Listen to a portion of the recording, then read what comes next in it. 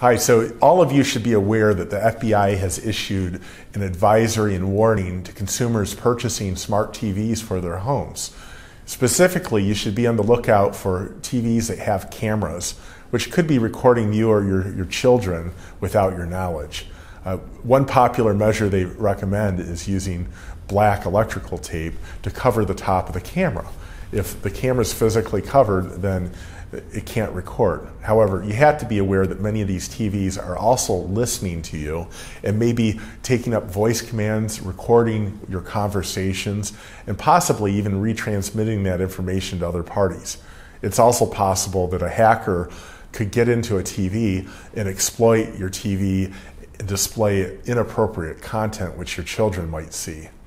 So, for more tips on how to secure your home, uh, check out our website. We have a link that gives advice on this. And as it relates to your TV, you want to make sure you know what you're buying.